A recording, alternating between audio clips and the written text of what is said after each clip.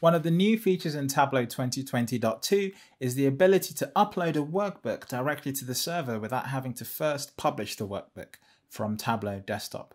Let me show you how that works. You can see here that I've created a project called Workbook Upload.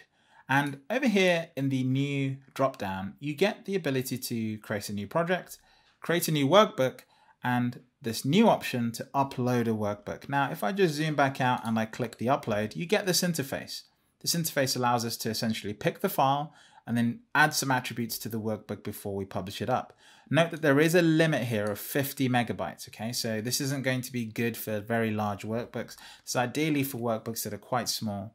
Um, I'm going to go ahead and choose a file here. I'm going to choose Superstore. This is the default workbook that comes in Tableau Desktop, one of the sample workbooks along the bottom of the view. Uh, I'm going to select that and open that. And you can see here that it's basically taken the name of the file, it's transposed that to the name, so we can see the name has been updated. The project remains the same, but I can move it around the server if I want to. Uh, essentially, think of these projects as folders around your server. In fact, they've even got the icon. Um, and then the last thing is a description. I can just give it a basic description here. Okay, and now the last option here is to show sheets as tabs. If I tick that, I'll see each tab as uh, each sheet, sorry, as a tab, although this is confusing. This technically means view in this particular instance, but we'll, we'll skip past that small issue and just hit upload. And as you can see, it's really, really fast. I haven't sped this video up to sort of simulate the speed or anything.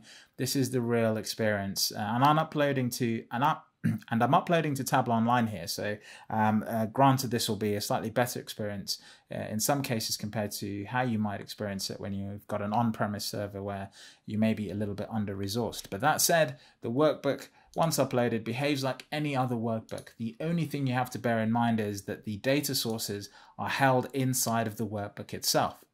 Now, if you've got database connections and you've taken an extract of the data, then you could, of course, uh, edit the connection and then publish those or refresh those data sources here from Tableau Server itself.